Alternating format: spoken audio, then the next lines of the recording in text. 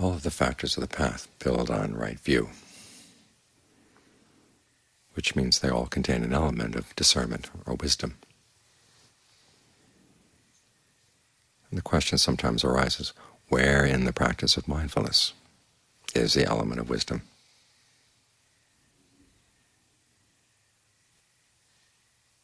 There's a general tendency to see it in the quality of sampajañña, or alertness, but alertness just notices what's happening.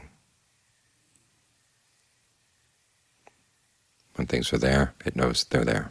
When they're not there, it knows that they're not there.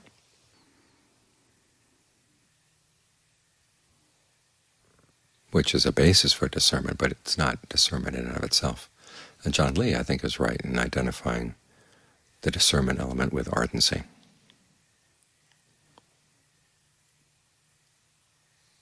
Ardency is defined in the text as the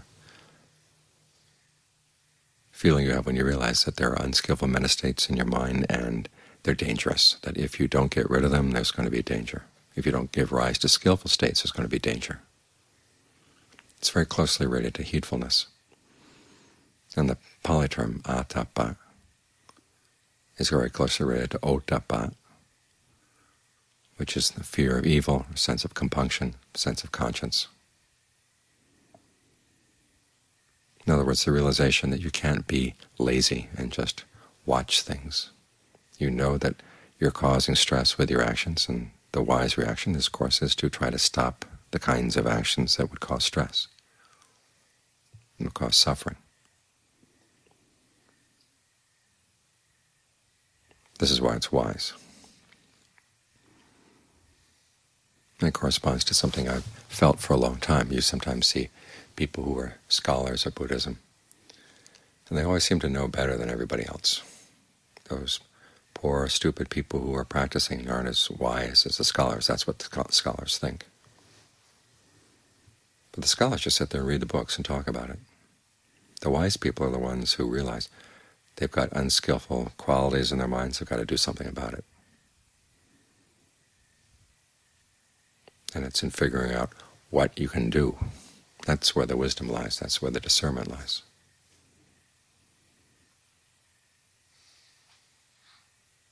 So it's important that you try to develop that sense of how important your actions are. The wisdom is something that has to lead to action. There is wisdom in the action, or you'd say that the practice here is wisdom in action. Your willingness to look at the events coming up in the mind and to step back from them just enough to notice where do these things lead? Are they skillful or are they unskillful?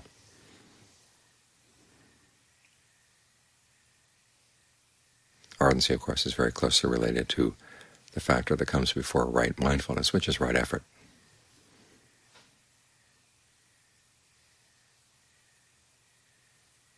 Right effort builds on right view in the sense that it makes the distinctions between skillful actions and unskillful actions, skillful qualities of mind, unskillful qualities of mind,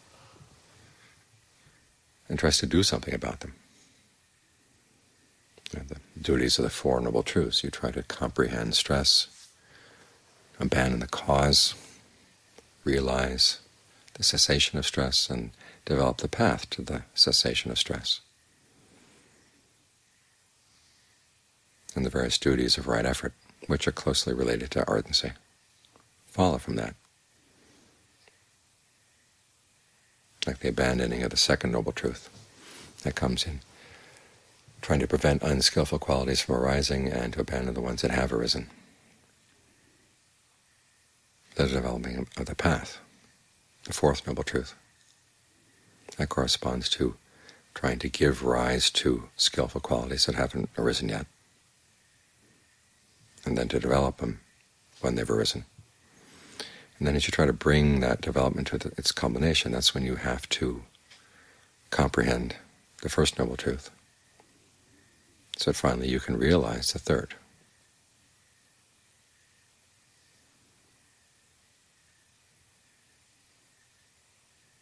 All this has to be driven by desire.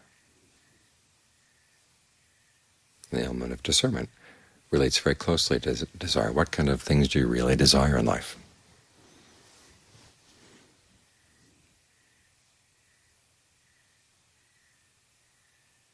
How do you want your life to play out? What you desire in life is very important, and the realization that it is important. That's an essential part of wisdom. All too often we hear that we shouldn't desire anything, that we should learn how to just stop wanting. As Ajaan Mahabua points out, the only people who have no wants at all are people who are dead.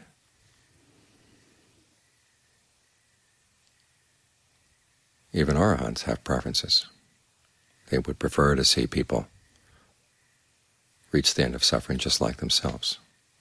They would prefer to see people not harm one another. Of course, their happiness doesn't depend on it. That's why they're free. But the fact that they're free doesn't mean that they they lack compassion, or they lack discernment, or they lack powers of judgment.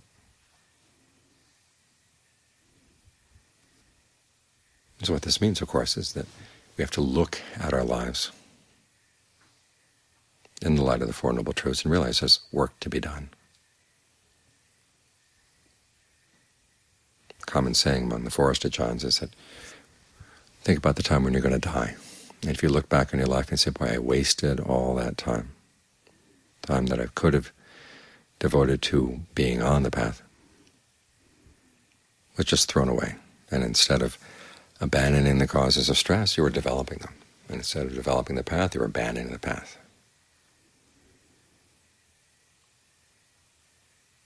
There'd be a lot of regret if you had those feelings, if you, that was the kind of life you had. The kind of life you want to look back on is the one that, whether or not you come to the end of suffering and stress, you want to say, at least I put in my best effort. I tried with all my ingenuity, all my discernment, all my energy.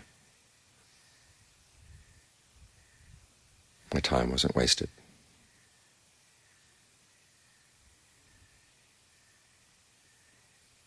As I say, wisdom begins with a reflection on death, the fact that your life is going to end. And there are a lot of things that will just disappear with the end of life, but there are some things that will not disappear. There will be a continuity. And you want to make sure that continuity is good. You how to make sure of that?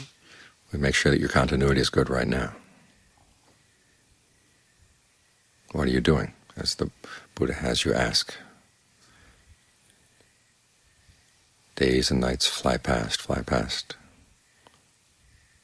What am I becoming as they fly past? What sort of person are you becoming? Are you becoming an ardent person, or are you becoming a, a lazy person?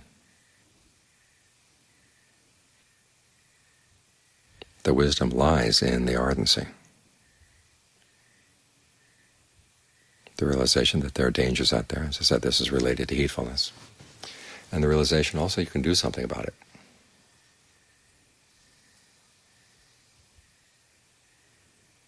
And then trying to figure out how you can do it, because of course there are members in the committee who say, well, I'd much rather relax right now, or take things easy, or I need my rewards of pleasure.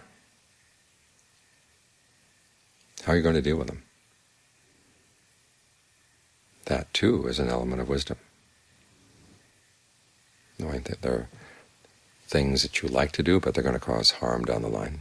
And the wisdom lies in knowing how to talk yourself out of them. There are things you don't like to do, but are going to give rise to good results down the line. How do you talk yourself into doing them? That, the Buddha said, is a measure of your virtue. Excuse me, measure of your discernment.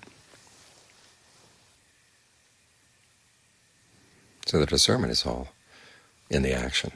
It's not in reading the books and observing other people.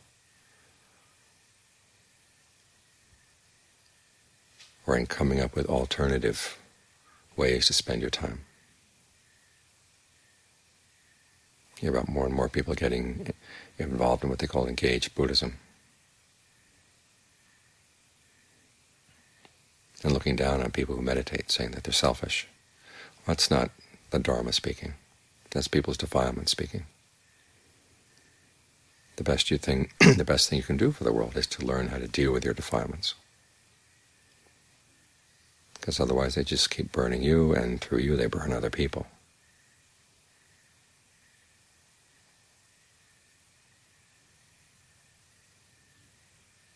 There's wisdom in realizing that, and then there's the wisdom of following through with that realization realizing you've really got to do something about your mind.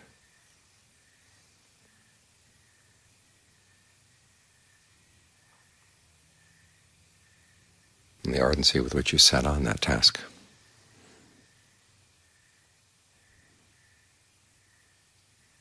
That's a measure of how wise and discerning you're becoming.